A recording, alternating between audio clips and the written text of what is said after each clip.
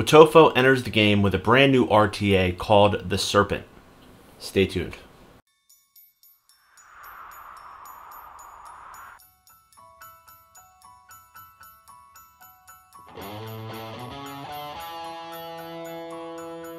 Hello and welcome to the Vapor Chronicles. We are back yet again for another review. This time it's going to be an RTA, which is a rebuildable tank atomizer from Wotofo. Wotofo. Um, it is called the Serpent, and it was sent to me for free for the purpose of this review from Wotofo, and uh, that's what I'm going to do. So I got it in the mail, and I said, hmm, what is this? And actually I was sent two devices. I was sent the Serpent, and also just a sub-ohm tank, with uh, pre-built coil heads called the Steam Engine, and I'm going to review that next probably. But I've been messing with both of them all day today, and I have a lot to talk about. So why don't we do this? Why don't we break it down, dive in, take a look, and then I'll let you know what I think when we zoom back out. Let's dive in. Here's the outside of the Serpent from Wotofo.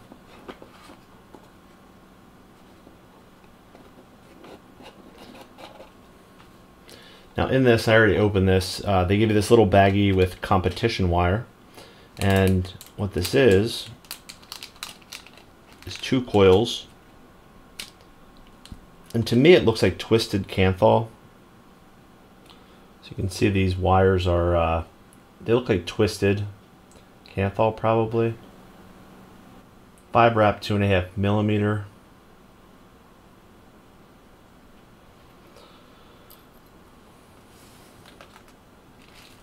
They also give you your tool, which is nice. And some O-rings and other little goodies. Post screws or grub screws. Organic cotton. And your tank. So let's run down some product features. It's 22 millimeters in diameter. It has a 4 milliliter tank capacity. It has a dual function top cap, independent chimney control, which raises and lowers the chimney, and it also has top fill capability. It also has dual adjustable airflow slots, 13 millimeters by 1.5 millimeters each. It has a two post build deck. It's designed for high power single coil configurations, naturally oriented for crossing the build, and it has 3 millimeter by 5 millimeter half circle wicking ports, and it's Allen keyed. It also has a gold plated contact for the 510 it's PEEK insulated and it uses high quality stainless steel and glass construction. So there you go. So let's take a look. There's your gold plated 510, serialized, Wotofo Serpent.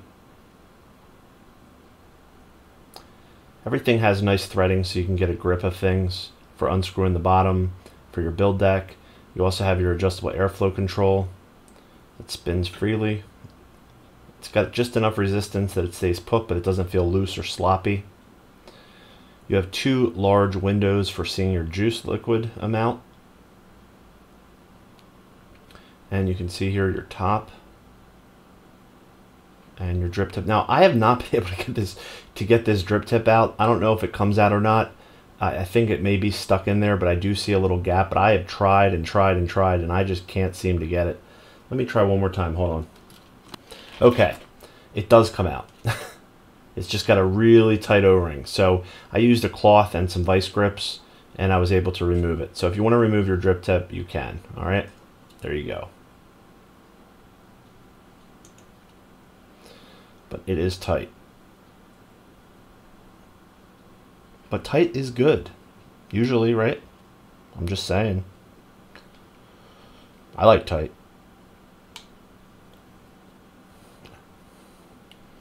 So you may want to put a little bit of uh, e-liquid on here to help it slide in, a little lubrication. All right.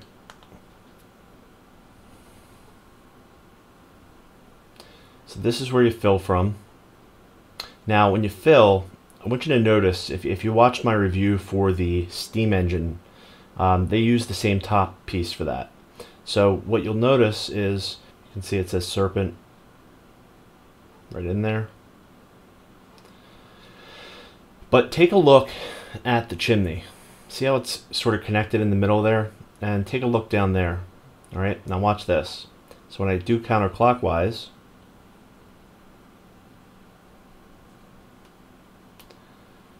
what it's doing is, is it's raising the chimney. And then it stops once it's fully raised. You'll get a better look when I'm inside, but that's the entire juice channel that you're seeing right there. So if you want max flow, you open it all the way. If you want to close it off for when you fill, or if, you, if you're traveling or transporting or letting it sit, you can just tighten it all the way down to the bottom and the chimney lowers right down all the way. Really innovative, cool stuff here. All right, to fill, you just unscrew this. There you go. Uh, you do want to make sure though, when you unscrew that, make sure you're not unscrewing this bottom part. I have noticed that it can happen. So uh, make sure it's tight before you start to unscrew that or hold this in place and then unscrew and then you should be okay. All right, so you just fill from the top. No problem there. And if you want to access your build deck, you just grab the base, unscrew counterclockwise, and voila. But all the machining and threading is silky smooth.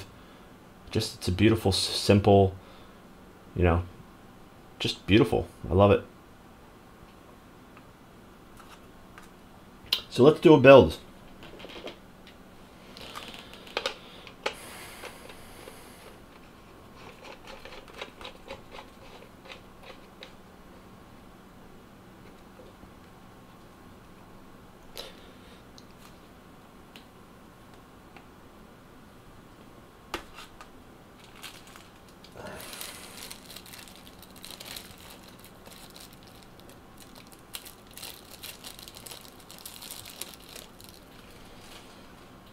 So your build deck.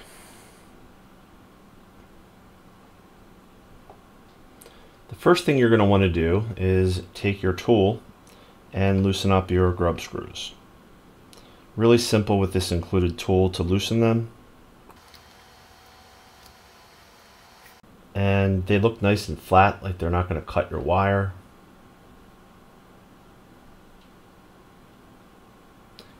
Nice big, big, big uh, holes for your leads. You can fit some pretty sick, thick wire in there.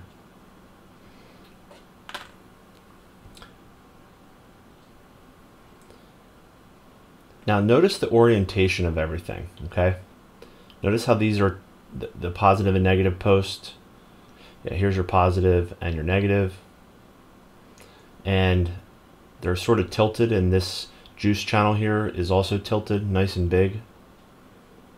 Huge airflow from the bottom. Just a really big, easy single coil build deck.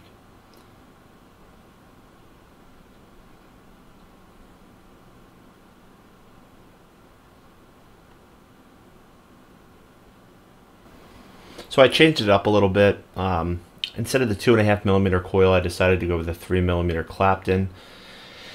And I have it pretty much set up. The the post uh, grub screws are locked in and um, it's firing pretty nice.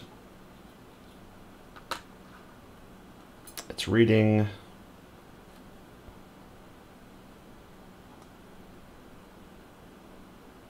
one point zero three ohms.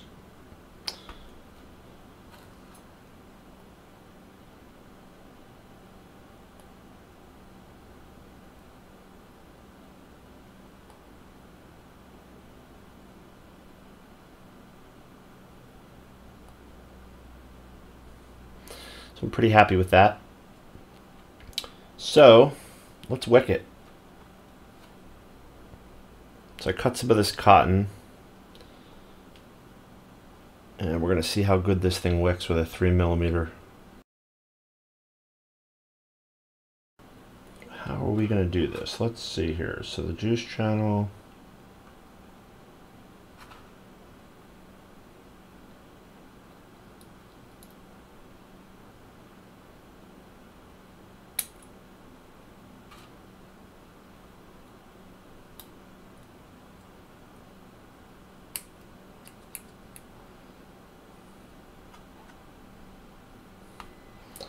Think I'm going to do it like this. I think I'm going to lay it right on top with nice thick fluffy wick. And I think I'm going to lay it right on top with a little tiny bit going in there, but I think I'm just going to fill that whole area up. Yeah. We'll see. I mean, this is my first build, so we'll see how it goes. But I cut it right to the top of the juice channel. We're going to use some Max VG, morning from Daily Dose.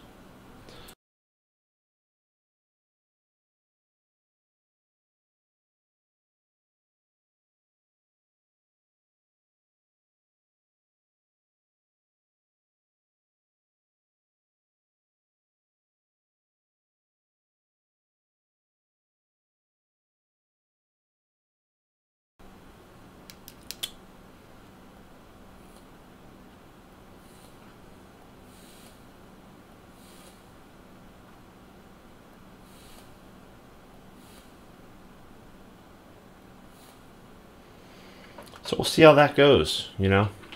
You never know until you try. So let's attempt to put this chimney back on.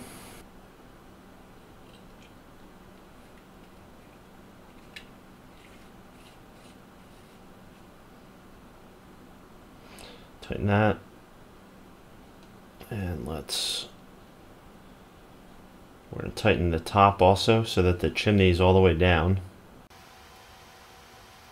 Chimney should be all the way down when we fill.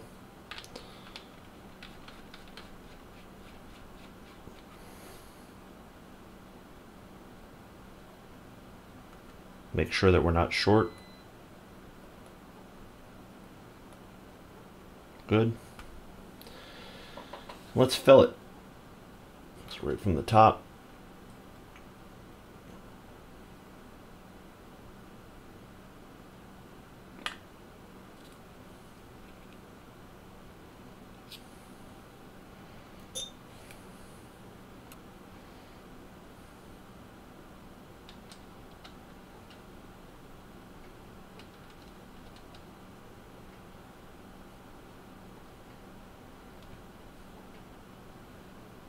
Lubricate our drip tip a little bit.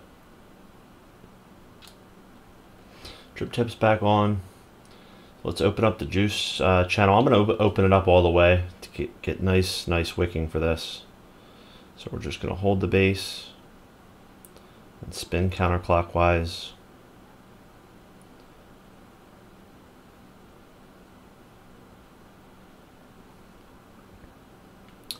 And it's all the way up. So there doesn't seem to be any flooding or anything. That's a good sign. It's all the way up. All right, so let's let this sit for a minute and let's zoom back out. We'll take it for a vape. All right, let's zoom out. The up close. Beautiful tank, beautiful build. Um, really nothing to complain about here, guys. It's a rebuildable tank atomizer, so you need to have some skill to be able to build, but it is a si uh, really simple two-post design build deck. Huge airflow from underneath the coil, and um, I love the way everything's sort of um, crossed at an angle uh, for that crossing build, and it makes it really easy to do a build and to wick it. Um, everything you saw in the up close, I have in this right now. So the build is exactly the same, the wicking is exactly the same, I've made no adjustments, and I've gone through about four tankfuls of liquid, and it is keeping up like a champ, okay? So the millimeter diameter, the wicking, everything stands as is, so you can sort of use that to gauge where you're going to be at. Um, the resistance is 1.02, so it's, it's above 1 ohm.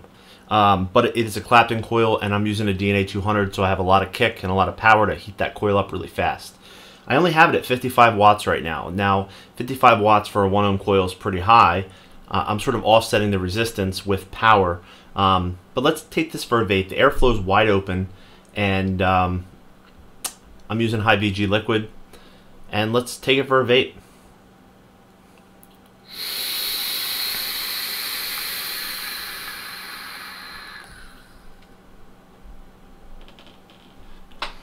This thing throws serious clouds, serious flavor. It's excellent. Excellent. The build quality is superb. Easy top fill, no leaking. I love this screw down chimney section that sort of covers up the, the wicking channels. Uh, it wicks like a dream. I mean, I'm at 55 watts. It's getting warm. But I could raise this bad boy up to 70 or let's go up to 75 watts for a 1 ohm. And it's still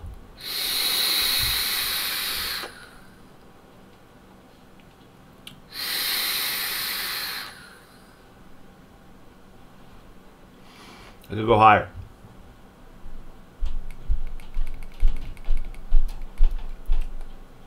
Eighty watts on a one ohm build.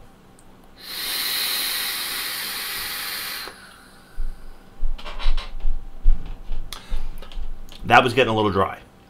So I'd, I'd probably drop it down to around 60. That would be a sweet spot, I think. Make sure we get that coil wet or the wick wet.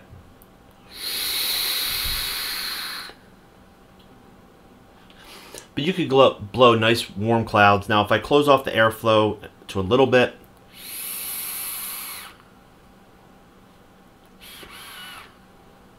it's still going to be pretty open and airy. But depending on how low you build your coil, how, how much, you know, how many wraps you do, you can sort of adjust that airflow a little bit more uh, manually.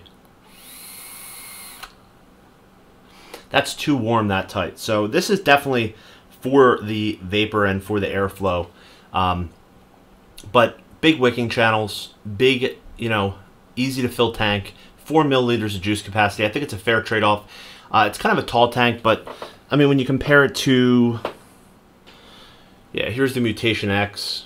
So it's the same height as that, except this sort of has that lift up for the top fill, which I'm not a huge fan of. I kind of like a flush top, but it's not as bad as like the Aromamizer. Uh, I kind of it looks more like it's part of the actual uh, build here. So, um, only real con I could say is number one, you you might be able to build dual coils in this, but it is a two post, two holes, um, one hole per post build deck.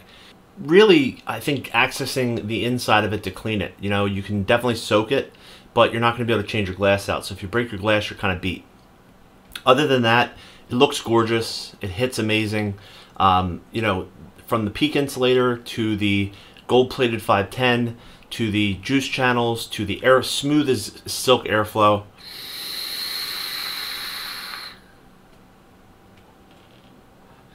Amazing vapor production. It's a wonderful single coil RTA. I'm totally happy with it. The Serpent from Wotofo you can pick it up from Vapor DNA. I have a link below. If you're interested, it's $29 and 99 cents and it's in stock right now shipping from the US. Vapor DNA link below. And um, the only other negative is that I don't see any colors besides stainless. So chances are in two months from now or a month from now or a week from now they're going to have a black version and maybe a white version.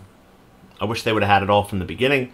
But you know I complain about that on all my reviews because they never do hopefully they'll listen and in the future they'll have all the colors from the start. You're probably going to get tired of me and I apologize if there's a lot of content but I just got to get it out because it's coming in faster than I can make reviews for it. So hopefully I'll continue doing the best that I can. It's going to be more of a holiday showcase than a full thorough in-depth review. It's the best I can do. I am busting my butt to try to keep the content and the quality up for you guys and um, you know make your holiday buying decisions a little bit easier.